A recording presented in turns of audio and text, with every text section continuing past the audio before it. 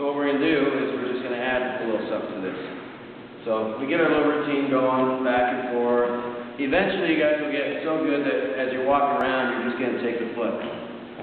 Once you're here, you're gonna go into knee on stomach position, knee on belly. You should be feeling that. Yeah. Gripping up, and just take an adjustment step with your left foot over and drop to the arm bar.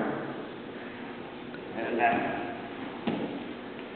So we're here, pull, boom, boom, squeeze the foot, here, arm Okay, do that a couple times. Get comfortable with it.